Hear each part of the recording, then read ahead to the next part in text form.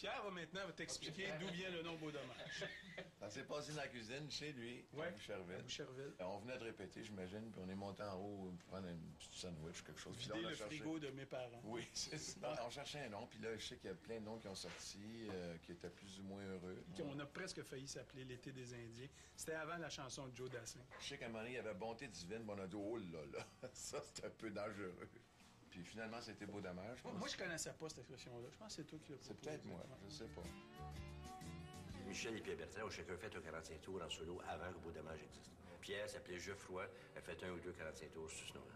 La préhistoire de Beau Dommage, ce sont des chansons, tout simplement, que Robert, Pierre Huet et moi, on avait commencé à travailler. On a formé une troupe qui s'appelait Les Quenouilles Bleues. La quenouille bleue, c'est deux autres. Lâchez-moi le derrière, s'il vous plaît. Et la quenouille faisait le tour du Québec en tournée et on avait une stratégie euh, vicieuse. Le premier soir, le band de la troupe allait jouer gratuitement pour attraper les jeunes. Et quand il y avait suffisamment aimé ça, on disait venez demain voir notre spectacle. J'attends qu'il y ait un, un talent du scout d'Hollywood. Mais on commence à voir le public cette année. C'est beau. Dont deux chiens puis un avocat. 23 décembre, euh, Montréal, euh, Chinatown, c'est des chansons qui sont nées à cette époque-là. On s'est trouvé avec un paquet de bonnes chansons qu'on a essayé de vendre à du monde qui n'en voulait pas. Donc, par défaut, Et à ce moment-là, moi, j'ai pensé à Pierre. On s'était côtoyés dans la famille Casgrain, un groupe de la préhistoire aussi. Et là, on a commencé à répéter Pierre, moi et Robert. Pierre avait un truck, c'est la seule raison pour laquelle on lui a demandé. pour ça que je hein. Moi, j'étais là euh, avant que ça, que ça commence, dans, dans Famille Casse-Grain, puis dans, dans, dans Quenouille Bleu. J'ai quitté ça pour faire mes affaires. Puis même, à un moment donné, ils sont venus me voir pour faire un, un- un démo. Là, Marie était même... Oui, Marie était là. C'est Réal qui était pas là. Ça, ça marchait pas, votre affaire, à ce moment-là. Je suis parti, là. Avant que le disque sorte, il y a eu deux ans de, de boîte à chansons, mais c'est pas arrivé bang comme ça. Ils ont travaillé fort comme tout le monde. Il faut se replacer dans le contexte. À début des années 70, là, être carriériste était un péché innommable. On y pensait même pas. On faisait des chansons tout simplement pour le peu plaisir de la chose. On a eu un public par après, puis tout ça, puis un disque, puis tout ça, mais, mais au départ, on, on se faisait triper les uns les autres. J'ai habité avec Michel Rivard quand il, euh, sur la rue de Remier, quand il est arrivé à la maison avec une première copie du disque en vinyle. Euh, je me souviens de le broyer, mais je me souviens qu'on se disait si on en vend 10 000, on va être fou. Déjà, euh, ça n'a pas pris de temps. Hein? On était rendu à 15 000, 20 000. euh, on, on le croyait pas.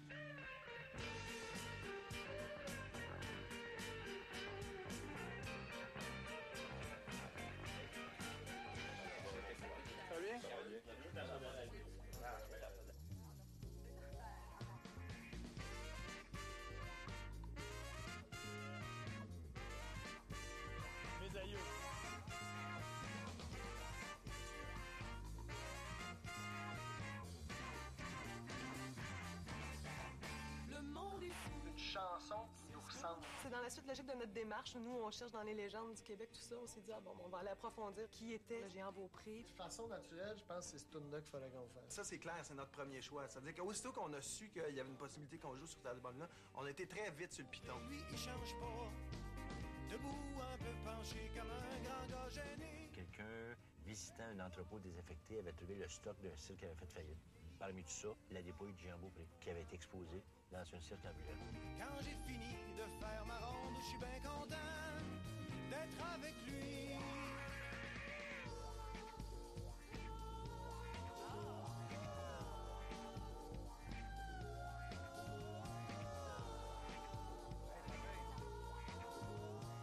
Moi, je suis ébahi du travail qu'il y a là-dedans. Le travail de, de- de création à partir de matériel existant déjà, mais comment ils ont essayé d'aller plus loin.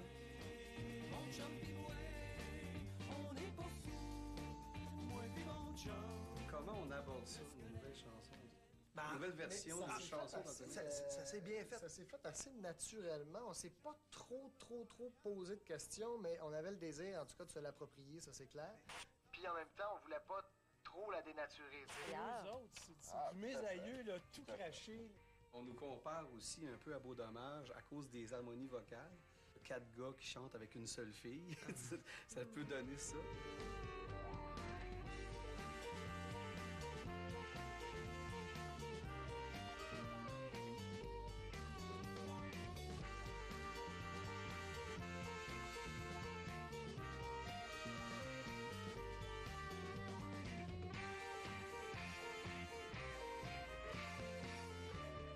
C'est touchant ce qu'ils écrivent en plus. Ouais. Comme le fils qui ose enfin dire Papa, je t'aime. Absolument, je tenais à le dire. Mon premier Guitar Hero, c'est Michel Rivard. Le squelette. Moi, le début, je le trouve super. Moi, la seule affaire, c'est le squelette qui me calme mon ennui. Ce qui est fun, c'est le plaisir. Sais, ça paraît qu'ils ont du plaisir à la fin. Euh, Totalement.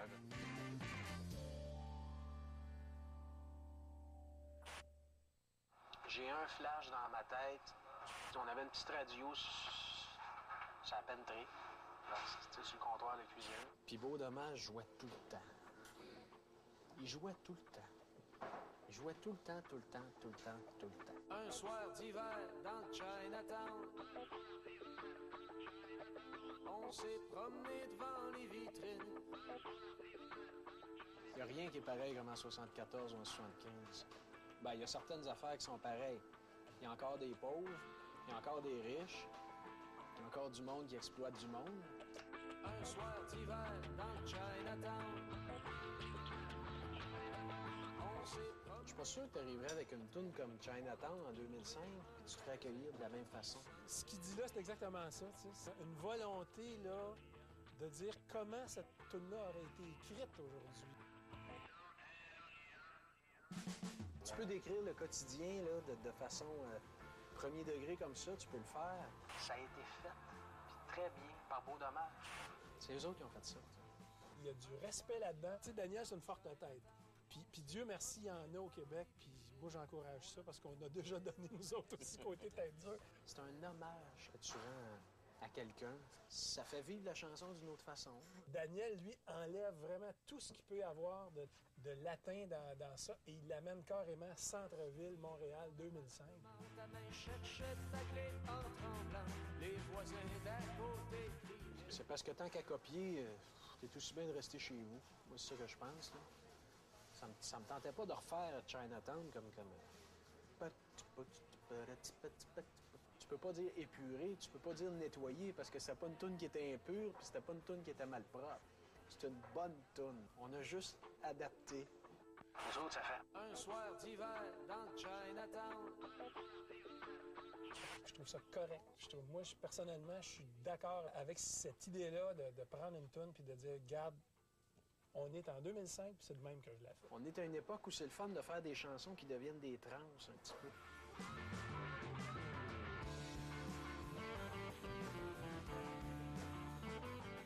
une espèce d'élément un peu cinématographique. que plusieurs événements se passent en même temps dans une ville le soir de la première neige.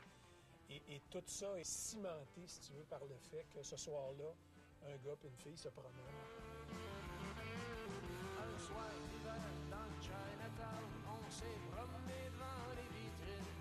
Moi, je suis touché parce que Daniel Boucher, j'ai enseigné l'écriture de chansons il y a 12 ans à peu près, puis il était... Il avait 18 ans, 19 ans, il était baveux, un peu sloppé, mais déjà beaucoup de talent. Puis là, que la filiation se continue euh, 12 ans plus tard, comme de cette façon-là, euh, je suis content. Une leçon qui- à retenir de Robert Léger, là, la chanson, c'est un art de répétition. Tu l'aimes, la tune, le refrain, il revient.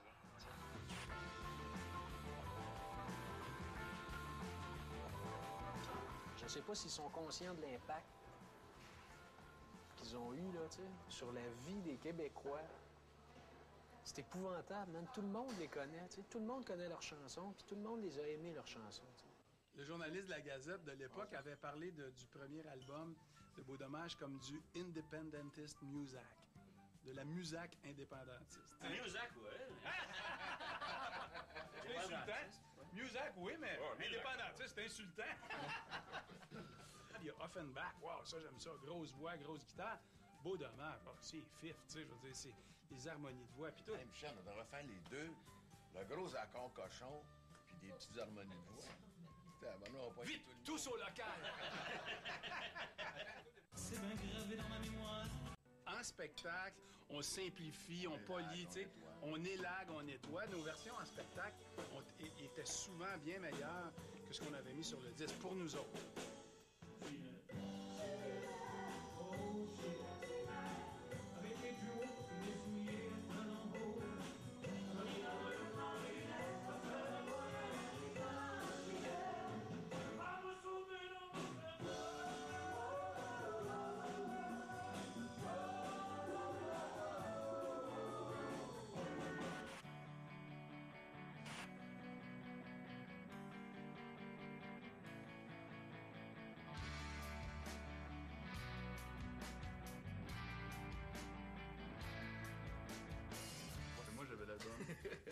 Tu avais l'album de Beau Dommage. Moi aussi, je l'avais. euh, en fait, c'est ma mère qui l'avait. En fait, tous nos parents, je pense, l'avaient. euh. Nous, souvent, on nous prêtait des, on nous prêtait des intentions assez, euh, assez stupides. Lui, ce qu'il avait dit, c'est que si on chantait Ginette, ben en fait, euh, tout, le monde, tout le monde dirait que c'était con, mais dans le fond, vu que des fois, si c'est Beau Dommage qui peut chanter ou un autre, ça va être bien pris. Tandis que nous, euh, on était comme des, des victimes là-dedans, puis on souffrait énormément.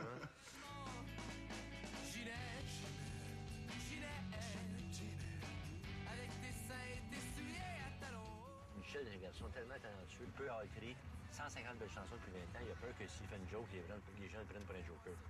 Pierre Huet avait trouvé que, que la chanson était peut-être un peu trop drôle au départ, mais il y a aussi une dimension très triste là, du, du gars qui, qui, finalement euh, qui perd sa blonde. Puis qu'est-ce qu'on fait avec ça? Est-ce qu'on y va directement dans, le- dans la veine, euh, dire bon, mais on l'aime encore plus drôle, on beurre ça encore plus épais. On s'est euh, retenu, hein? Ouais, c'est ça. Les, les passes, des fois, qu'on on a coupé.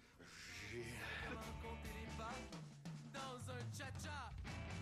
Ginette, Ginette, Ginette, Ginette, avec tes seins et tes souliers à talons hauts.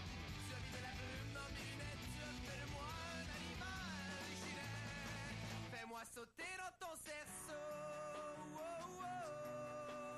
Oh, oh, oh, oh. On a eu peur. On a eu peur qu'il va euh, casse la gueule. Ouais, puis là, si on coince à la table et qu'ils nous disent C'est fini pour vous autres, je vous barre! Je les adore. Comme dirait l'autre, J'étais sceptique, mais je suis confondu. Tout à fait. Écoute, étant donné que j'ai deux filles super fans des trois accords, ça va être euh, la joie dans la joie dans, la chaumière. Mais euh, je suis allé les voir, je suis allé les voir deux fois en spectacle, puis ils sont bons. Et il y a une filiation entre eux autres et la quenouille bleue, puis Paul et Paul, puis puis nous autres dans nos folies de cette époque-là aussi. On s'était dit qu'on voulait pas au moins la scraper. Euh, c'est tant bon, tu sais, quand tu refais un- une œuvre, mettons, on va y mettre un plus beau sourire. Ah oui, je regarde mais gardé ses beaux souliers. C'est bien assez pour se faire aimer. Ginette, Ginette, Ginette, Ginette. Hey, ensemble, plus que trois accords. Ça capable de jouer tous les accords. au lieu de faire les accords complets, on faisait toutes des, euh, des deux notes par deux notes, puis on a comme beurré euh, après ça des pets de guitare là-dedans. Puis...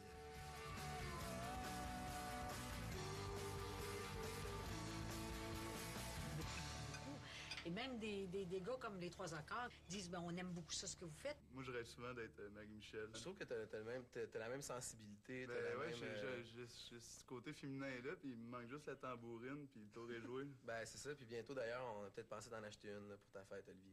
J'ai hâte. Notre déclaration, c'était on aime chanter, on aime jouer de la musique, on aime les harmonies de voix, on aime les belles chansons, on est en paix avec nos, nos origines, avec notre ville. À quoi les gens nous ont identifiés, c'est chanter la ville, chanter Montréal, c'est le premier album. On n'a pas été les premiers à faire ça. Il y a eu bien des chansons, Ferland, entre autres, en a fait, Clémence en a fait, Charles Lebois en a fait. On recherchait une certaine harmonie, une certaine douceur dans, dans nos, euh, dans notre musique, tu sais.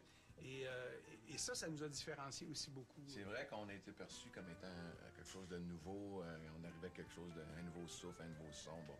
Mais en fait, on fait partie d'une longue tradition. Puis les noms qu'on a nommés tout à l'heure, euh, c'était tous des gens qu'on aimait beaucoup. D'ailleurs, notre premier spectacle, euh, après les boîtes, là, puis après l'hôtel Nelson, c'était au TNM et on ouvrait avec En veillant sur le perron de Camille Andrea, qui est une femme d'ailleurs, contrairement à ce qu'on disait dans la chanson euh, Montréal, où on dit il y a un bonhomme qui en a fait une belle chanson. C'était une femme.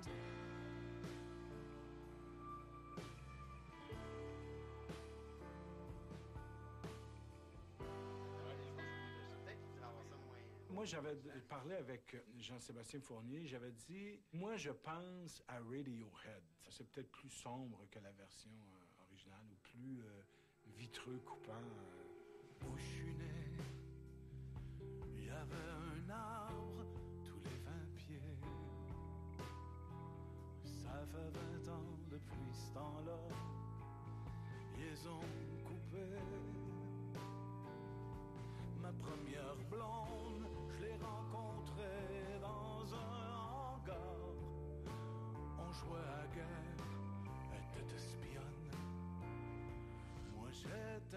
j'étais allé les voir à l'Hôtel Nelson à la fin d'une chanson de Robert Linger. Je me lève en disant qui est l'auteur de cette chanson? J'avais trouvé que la, la tonne était bonne. Après le show, Michel Rivard, il m'a jou- m'a joué une tonne qui était en train de composer, était en train de finir, puis c'était le fuck en Alaska. J'étais impressionné, je trouvais que c'était vraiment euh, du bon, du bon stock. Je savais pas que j'étais pas être pogné, puis je chantais ça pendant des années après ça, dans toutes les La Saint-Jean. première fois que je l'ai rencontré, c'est dans les cuisines du, euh, de l'hôtel Nelson. On faisait un show, puis il était venu avec sa guitare avant le show pour, nous- pour nous chanter son premier disque. C'était une époque où il était très créateur, toute la gang, et puis euh, et- et- et il y avait une saine compétition. fallait bien qu'un jour ça vienne,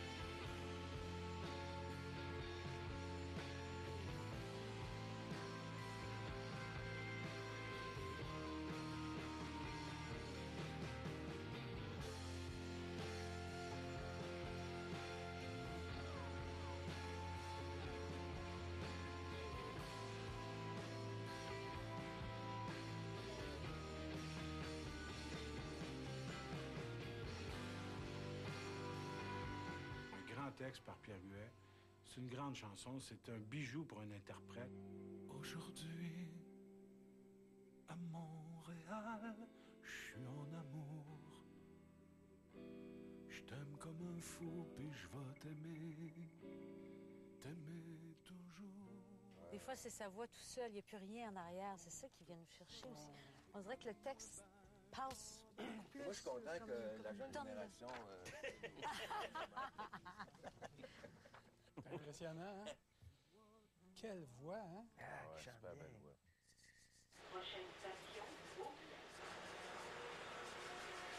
Palmeira pampa por aqui, onde canta solto sabiá. Mas tô louca pra partir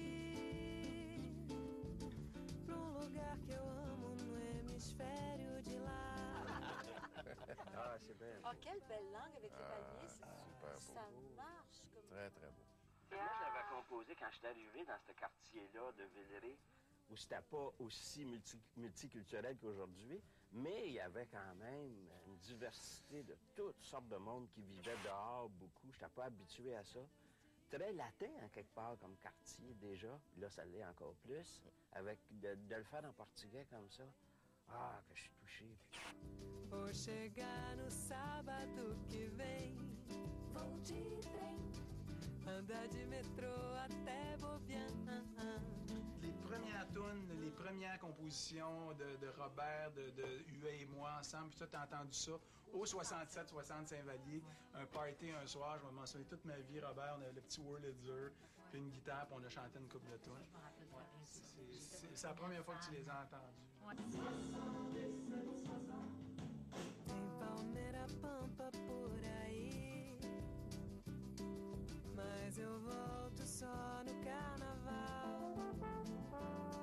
Pode me escrever aqui.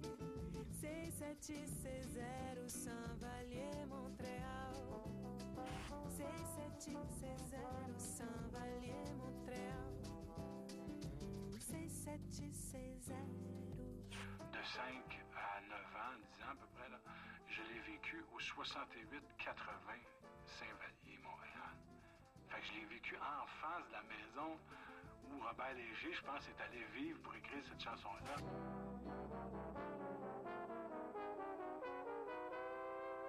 Poupou-pidou. Bravo!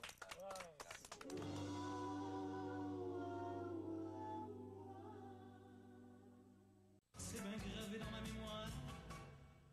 Des longues tournées de 75 shows en ligne. travaillait là. très fort.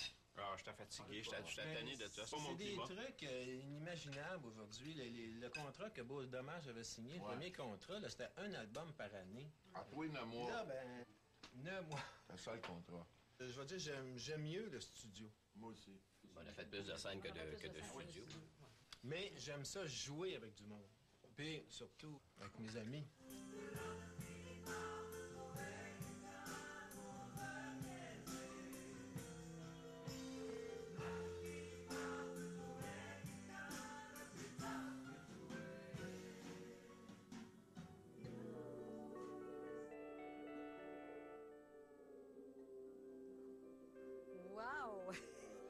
Début, là, moi, ça me faisait penser un peu à l'univers de Daniel Lanois, puis tout ça. là. Tu sais, c'est, c'est du country moderne. Belle Country urbain, mettons. Toutes les fois qu'elle vient pour faire son tour, à toutes les fois qu'elle vient, c'est né dans le bout, la face te tombe à terre, tu t'intéresses au fond de ton verre, on peut te parler, tu nous écoutes plus pantoute. Les chansons de Beau Dommage, c'est comme si ça avait toujours fait partie de ma vie. Ça parlait à mes 20 ans. Et euh, ça parle encore à mes 30 ans, comme ça va sûrement parler de mes, à mes 40 ans. Ça, c'est Robert, ça, qui écrit ses chansons euh, simples, mais jamais banales. Hein, Robert? Des fois, c'est compliqué, banal. Mais ah, effectivement, c'est peut-être parti du point de vue de quelqu'un qui regarde son chum avoir une peine d'amour, puis qui comprend avec compassion et empathie, j'espère. Des fois, on, le voit mieux quand c'est pas nous qui la vie.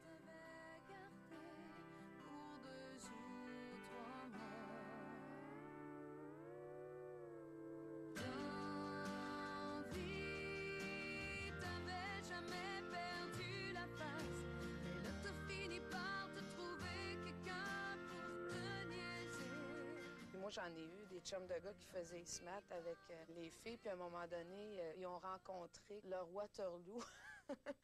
Ça te fait-tu une petite craque sur le cœur de rien de quelqu'un, quelqu'un d'autre chante ta chanson comme Ben, je tu trouve ta robe ça m'écœure un peu de voir qu'elle chante très, très bien. J'ai juste été là pour euh, rendre la grâce qui m'avait été faite, quoi. C'est la mélodie, c'est l'émotion. Il n'y a aucune fioriture. C'est paf, ça s'en va là, là. C'est très fort. C'est une chanson qui est devenue très importante pour moi. Interprétée euh, jusqu'ici par Marie-Michel Desrosiers, qui en a été euh, la, la seule interprète, et la gigantesque interprète aussi. Ah, je me dis, cette tune-là peut vouloir dire d'autres choses. Elle est plus sombre que je pensais. Elle est plus cœur brisé que je pensais. Ah, bien, merci, Madame Bouillet. Wow, bravo, bravo, bravo. Grain de voix, Quand j'ai accepté de chanter sur cet album-là, c'est aussi par amitié pour, pour tous les membres de Peau Dommage. C'est un grand honneur qu'on qu'on me fait. Au dommage, euh, je dirais que ça a bercé euh, sur euh, toute mon adolescence, une grosse partie de ma délinquance. C'était une affirmation non pas dans la contestation, mais dans la chanson.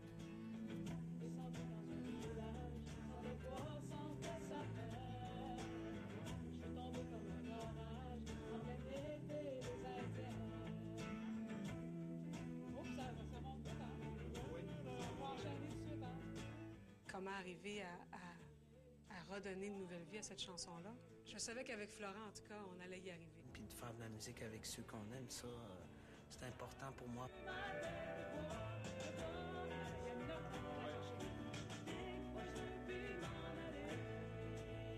Puis le... Alors les gens s'éveillent, alors des poules. S'il y a une urgence dans, dans, dans le pic-bois actuel que nous autres, on a repris. C'était un propos qui était très urbain, mais la fuite vers la nature, euh, je le vis tout autant aujourd'hui. Pour des, des jeunes euh, autochtones, francophones, pour dommage, ça l'a marqué aussi. Je savais pas à quel point on avait aussi été apprécié par les Amérindiens. Ça, Florent, il tenait beaucoup d'amener sa petite touche. Euh. Je tiens quand même le même texte de, Beau Dommage que je, refais en Inou. Quand t'es né sur du béton, tu sais pas les noms d'oiseaux. Quand t'es né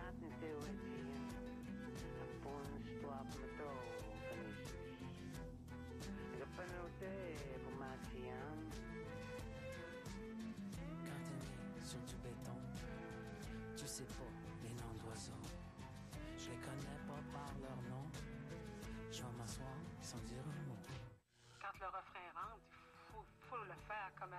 chantée la, première fois, cette chanson-là. On ne pouvait pas changer ça. Et de montrer qu'une mélodie peut être très forte quand tu la chantes telle qu'elle est.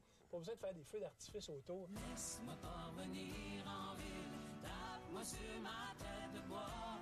Pique-moi, laisse-moi pas tranquille, pique-moi, je veux plus m'en aller.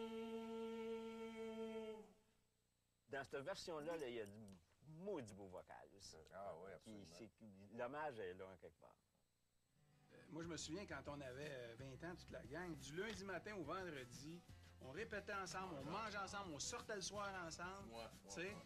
Là, on était toujours en, en écriture, en discussion, en, en réunion de décision sur notre avenir. Un jour, on a formé une coopérative. On s'est... C'était très compliqué, c'est laborieux encore aujourd'hui, parce que ça existe encore aujourd'hui. Je trouve ça extraordinaire. On sépare encore les droits d'auteur aujourd'hui. On, on est plusieurs à écrire ou à composer, donc ça fait la charge de, de création est partagée euh, plutôt de façon équitable. Ce qui fait qu'on est vraiment un groupe. Ça t'enlève une grosse agressivité. Ça t'enlève de dire je veux que ma chanson soit du prochain disque parce que je veux faire des avec. Euh, Ça a beaucoup contribué à faire que plus de 30 ans plus tard, on y a encore bien des chums. Tu sais, euh, personne n'est devenu millionnaire, personne n'est devenu pauvre avec ce groupe-là. Nous autres, on a tellement vécu ensemble. On- des fois, je dis, euh, tu sais, il y a des gens qui ont fait la guerre ensemble, tu sais, puis ça les a soudés pour la vie. Nous autres, on a fait l'amour ensemble. J'étais pas là. C'est là que j'ai attrapé ça. Alors, tu l'as, l'esprit. J'ai dans la tête un vieux sapin, une crèche en dessous. Un Saint-Joseph avec une canne en caoutchouc. C'est une chanson qui, qui, de- depuis que je suis jeune, a habité la maison chez nous euh, Noël et jour de l'an. Comme en lien avec ma famille, c'est un party de cuisine. C'est les, les mononcles qui sont chauds, les kits de Père Noël poche qu'on qu'on voit au travers. C'est la chanson qui jouait, puis ça joue encore. Tu écoutes la radio dans le temps des fêtes, puis c'est cette chanson-là. puis c'est- T'as vraiment une ambiance chaleureuse de party de Noël, de famille. de- C'est beau dommage, en.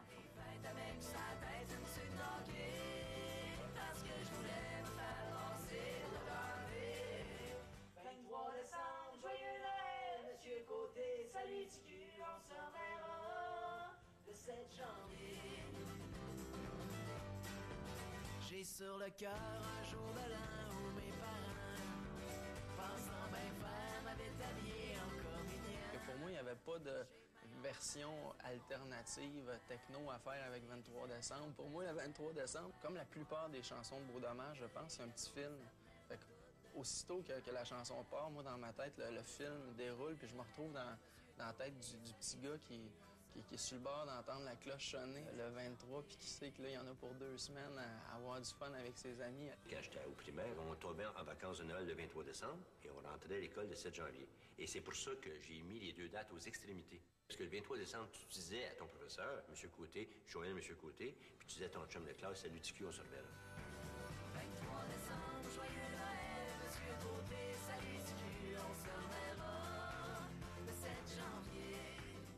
Quand j'ai fait la musique sur le texte de Pierre, j'avais des velléités d'être un folk singer, tu sais. Puis Cette version-là me ramène ça en pleine face. Ça me fait penser que, tu sais, le premier Dylan. Ah oui, oui, tout à Le fait. son du premier Dylan quand il était folk, là. Ah, Très, Piochet très, très, dru, ouais, ouais, là, puis ouais, avec une petite énergie, là, effectivement. Ouais. Une fille de dos qui se cache les fesses avec les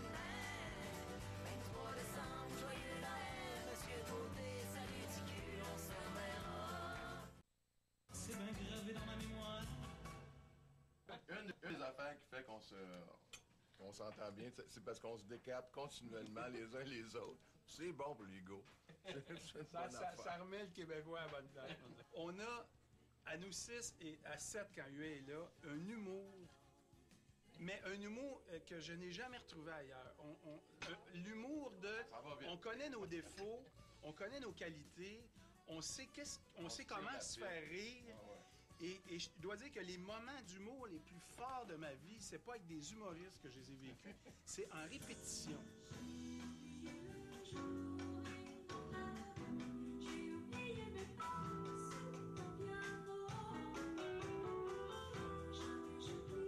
On avait une très grosse chambre d'hôtel et une suite.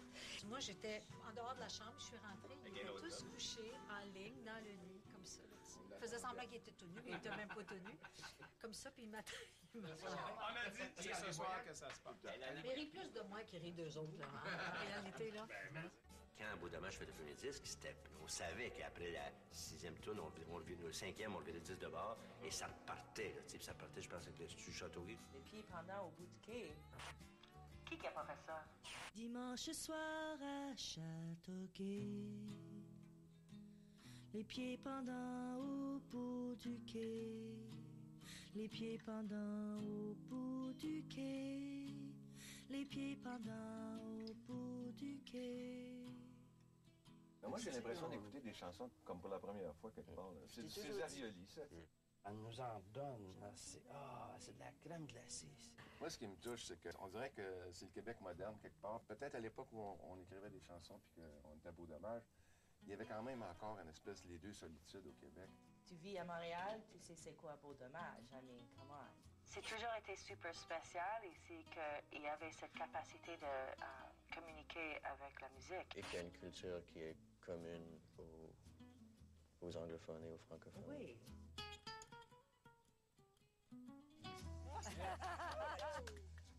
Pour moi, c'est ça la musique, you know? De pouvoir faire un party et de pouvoir chanter les chansons que tu aimes. Puis si les chansons sont écœurantes comme dimanche soir, on va s'amuser au bout. Les pieds pendant au bout du quai.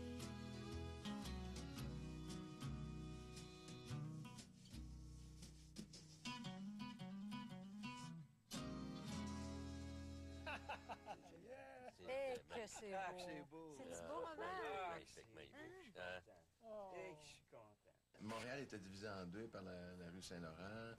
Il y avait les anglophones et les francophones. Maintenant, d'ailleurs, par l'hommage qui nous est rendu à travers l'album, on le voit bien.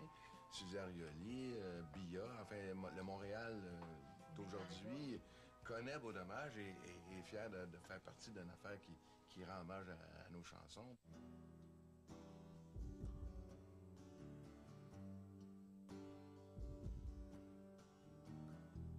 Un ange gardien sur le bord de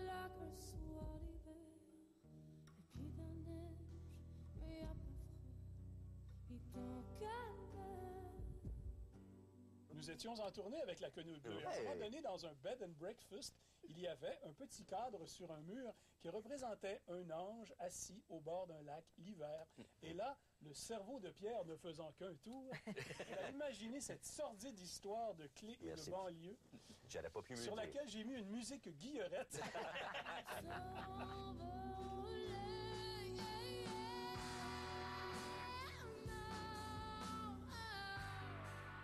J'ai toujours aimé cette chanson-là. Elle a quelque chose de jazz, elle a quelque chose qui nous amène ailleurs. C'est une chanson psychédélique, en quelque part. Elle est allée au bout de ça, Coral. J'adore ça. Tout le côté étrange, mais comme elle est rentrée dedans à plein de ce texte-là, presque un roman policier ou du moins un film. qu'on n'avait pas réussi comme. Non. Non. Du tout. Dans ce cas-là, je trouve que ça a mieux compris. Je pense qu'on a eu peur d'aller vraiment là où il fallait aller. On n'était pas. D'autre part.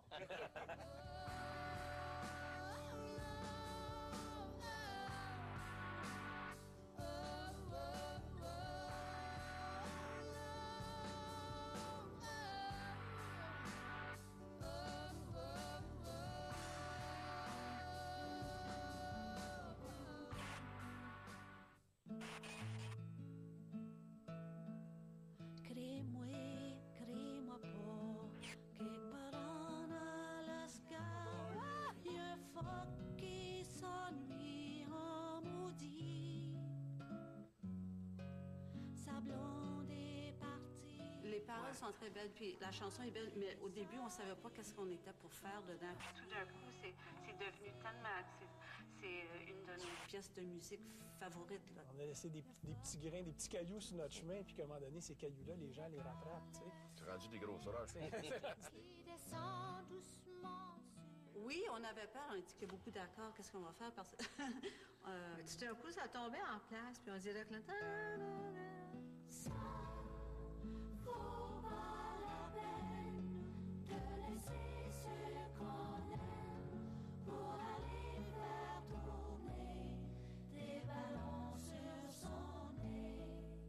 c'est une très belle chanson d'essayer de faire quelque chose comme ça. Que... Il y avait beaucoup de place. C'est très visuel. Ouais.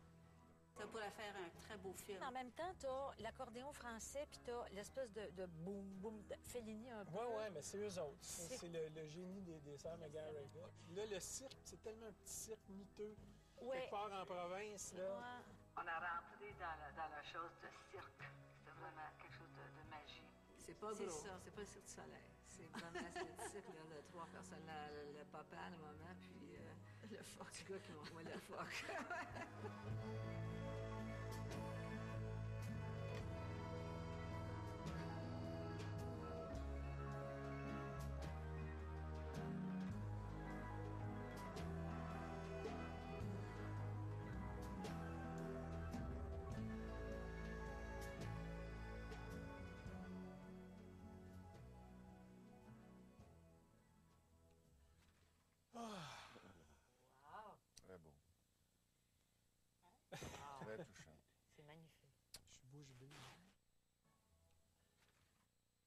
Ces deux filles-là, et- en fait, et leur fille en plus, ça me touche, là. Tu peux pas savoir. Lily. Regarde, on écoutait les sœurs McGarriga filiation en même temps qu'on faisait nos premiers disques. Et là, de, de se faire renvoyer l'hommage, là, c'est, c'est, c'est un grand moment pour moi. Quand Félix l'avait repris, ça a été un, un- Un premier coup. un coup, là, tu sais, mais là, dit, le clou est enfoncé profond. là. Ça ne vaut pas la peine de laisser ce qu'on aime pour aller faire tourner des ballons sur son nez. Ça fait rire les enfants, ça dure jamais longtemps, ça fait plus rire personne quand les enfants sont grands.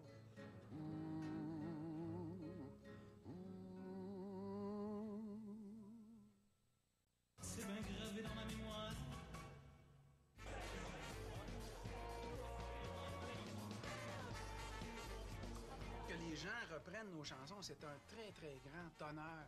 tu sais. Et pour moi, c'est pas mythologique, pas en tout. On prend ces chansons-là et on les chante, parce que des chansons, c'est fait pour être chanté. Tu sais, moi, je crois pas qu'une chanson, c'est sacré. On peut, on, peut, on peut dire, oui, j'aime mieux telle version que telle autre version. C'est tout à fait normal, on a nos goûts. On la fait jouer, puis on la revire à l'envers. Des fois, c'est réussi, des fois, ça l'est pas, puis c'est pas grave, la vie continue.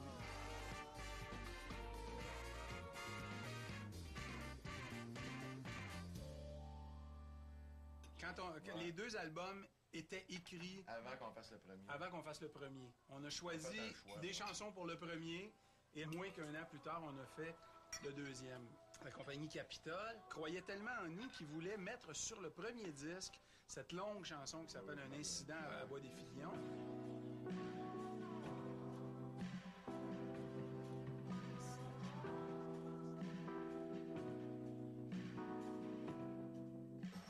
Incident à bois des filions. tu sais. Ça a été vraiment bizarre le feeling, tu sais, parce qu'en même temps, ça a fait comme Yeah! Tu sais, puis en même temps, ça a fait J'avais pas le droit de refuser ce- cette occasion-là. J'avais pas le droit. Fallait que je l'accepte. Elle s'est perdue entre deux eaux, C'est l'histoire d'un gars qui a de la peine parce que sa blonde a s'est noyée. avec des algues autour des chevilles. C'est quand même assez complexe comme tout. On a cherché pas mal. Ça, a été une job de déconstruction.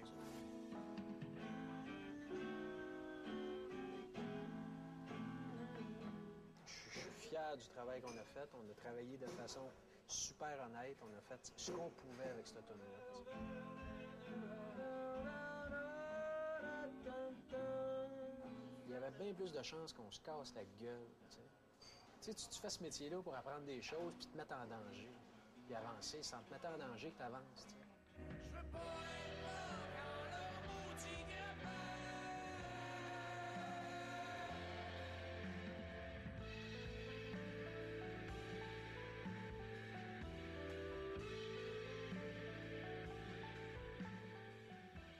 Donc ici, il y avait la rivière, il y avait la plage, il y avait une plage, il y avait du sable, du sable, et bien la rivière des Minutes qui porte son nom, on voit le paquet d'îles qu'il y a ici. Et c'est euh, sur ce pont-là que la fille est glissée.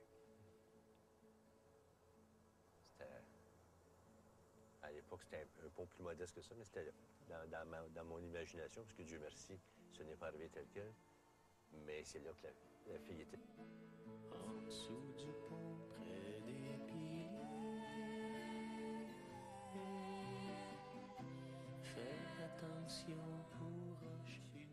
Dans mon enfance, au moins deux, trois fois par été, on se retrouvait ici. Il y avait un paquet de, gens qui étaient sur le bord de l'eau à attendre, pendant qu'il y avait des bateaux, des, des- des chaloupes, qui avaient des grappins, pour essayer de trouver la personne qui s'était noyée. Puis à un moment donné, il y avait un murmure qui partait, il l'avait trouvé, il l'avait accroché.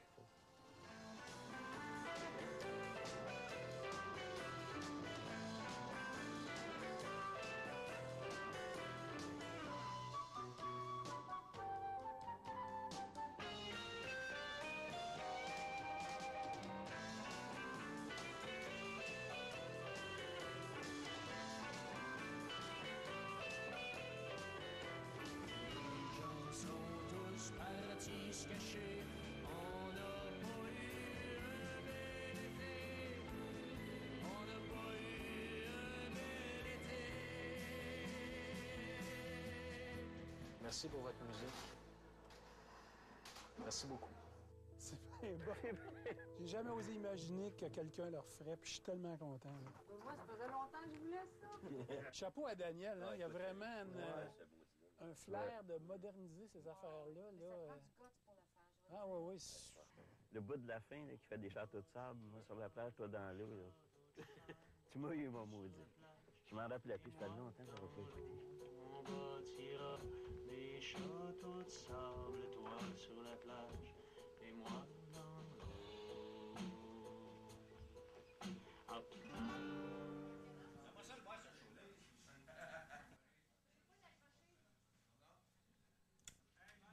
Qu'est-ce qui peut cimenter beaucoup cet être humain, c'est d'avoir trouvé quelque chose ensemble. D'avoir trouvé quelque chose. On a trouvé un son. On a trouvé une manière qui n'est pas la meilleure, mais qui est une manière d'écrire des chansons, de les jouer, de traduire nos émotions, notre vécu à quelque chose qui s'appelle une tourne de beau dommage.